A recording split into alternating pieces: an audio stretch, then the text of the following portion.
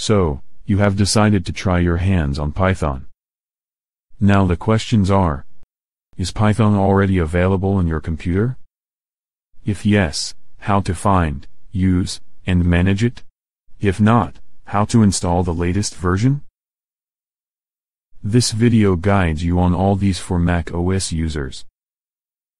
If you're using a Windows or Linux machine instead, skip to the corresponding video. Python in Windows, or Python in Linux. Continue watching this video, if you're a Mac OS user. Open Spotlight, search for the Terminal app, and open it, type this command, and press enter. V in uppercase. This is a system version of Python 2, which is not recommended for writing new programs. What about Python 3? Python 3 is present as you can see but, this also is a system version and relatively old too. We will leave these system versions, as they are. Instead, if we had a user installed Python, it would have been like this. If Python wasn't there, response would have been like this. Now, how to install and use Python. We discuss three approaches here. Direct download, Homebrew Python, or, using PyEnv. Direct download. Open your browser and visit the web page. Press the button to start downloading the installer. Once the download is finished, open the installer you just downloaded. And follow the instructions. If you need to, uninstall your Python like this. To upgrade, you can simply download and install the latest official version. It can work along with the old version. Or you can safely uninstall the old version first.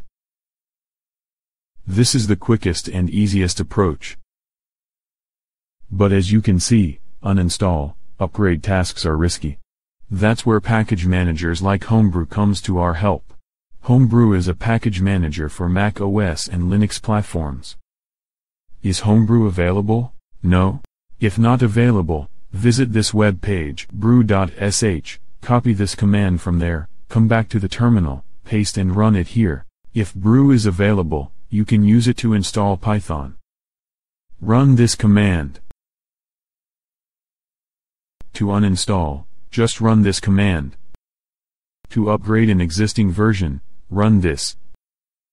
Now the install, uninstall and upgrade tasks are simple enough, but still, this solution too is not perfect. What if we have multiple projects that run on different Python versions? PyEnv makes managing multiple versions easy. Install PyEnv using Homebrew or directly. Added these lines to the end of Z shell config file. And then refresh the terminal. Now PyEnv is ready to run. To install a specific Python version, just run pyenv install. Now back to the example. Start by installing all desired versions. Go to the first project directory. Run pyenv local command.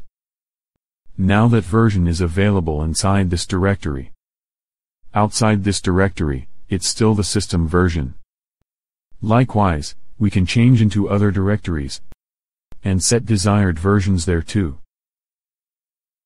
Now we can install and switch between different versions easily. Now you have Python 3 installed.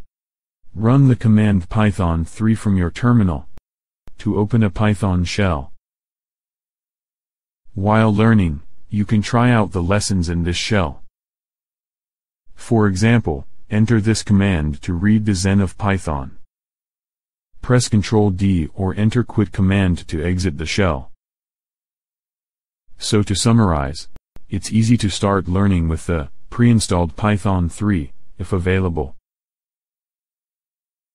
Or else, you now know how to get one, then upgrade or remove it. In the next chapter, we will start exploring with the Python shell and then write and run our first program.